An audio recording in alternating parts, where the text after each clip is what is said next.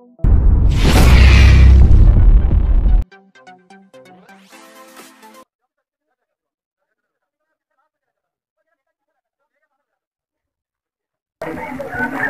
हम तहसील सुनकोट के पिछड़े इलाकों में पहुँचे और यहाँ पर हमें गरीब आवाम की खिदमत करने का जो मौका मिला, ये हमारे लिए बड़े फख्र की और बड़ी खुशी की बात है।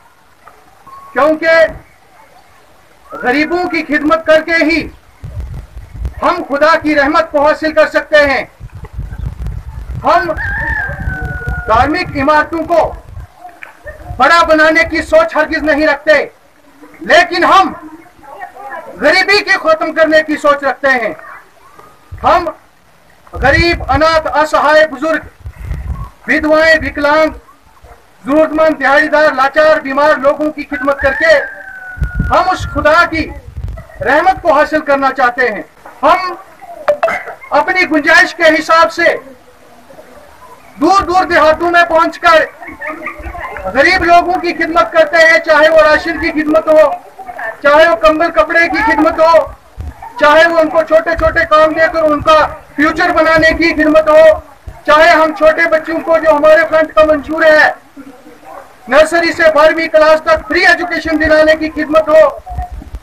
हम शुक्र करते हैं उस मालिक का, जिसने हमें यह ज़िंदगी भी दी और साथ में हमें खिदमत करने का एक बहुत अच्छा मौका दिया।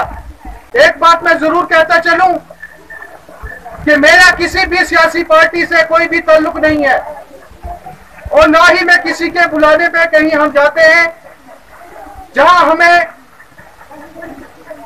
गरीबों की खिदमत करने के लिए इशारा मिलता है, हम उसी तरफ़ चल पड़ते हैं। मैं यहाँ पब्लिक वेलफेयर फ्रंट के जो कि सरदार जोरावर सिंह साहब की सरबराही में यहाँ पहुँचा।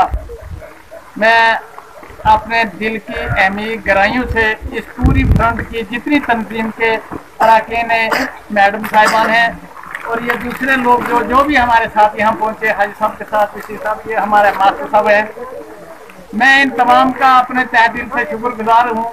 सब लोगों को इनके आश्वासन से, इनके नज़रिए से जुड़ जाना चाहिए और चल कर हमारा मुल्क जो है वो तरक्की पर जा सकता है।